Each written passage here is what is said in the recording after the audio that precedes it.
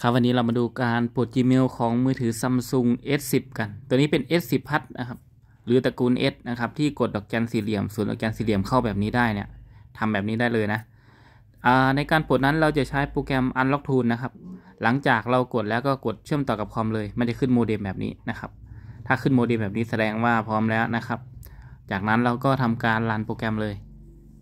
นะครับ ตัวนี้เราจะปลดผ่านโหมดฟังก์ชันนะครับ ปลดผ่านโหมดฟังก์ชัน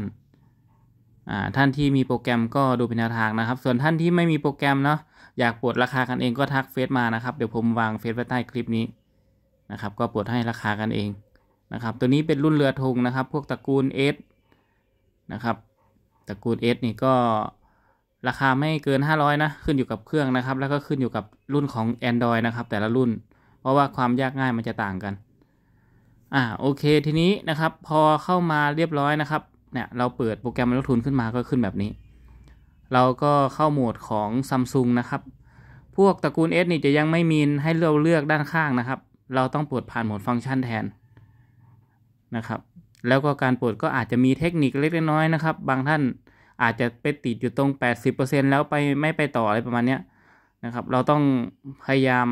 นะครับในการเปลี่ยนพอร์ตหรือเชื่อมต่อใหม่เรื่อยๆนะครับ ให้มันผ่านได้ โอเค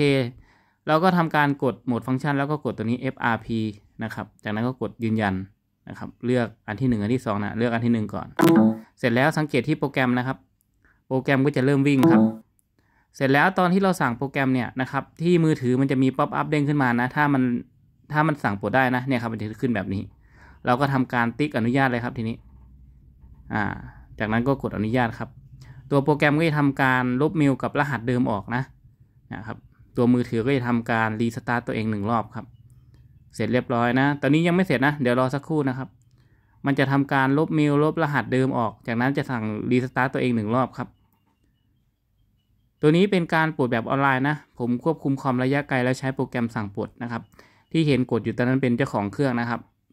ผมก็จะวิดีโอคอลนะครับวิดีโอคอลแนะนำการทำไปด้วยพร้อมกันนะ อ่า ตัวนี้เป็น S10 S10 บวกนะครับ หรือ S10 พัทนั่นเอง นะครับถ้าไหนที่มาเยี่ยมชมก็ฝากกดไลค์กดติดตามนะครับ ความรู้ดีๆมาเรื่อยๆนะครับในช่องสอนออนไลน์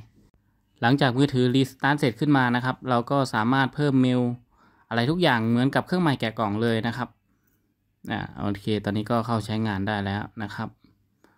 โอเค ก็เอาไว้ประมาณนี้ครับ เดี๋ยวพบกันใหม่ในคลิปต่อไปครับ ขอบคุณครับ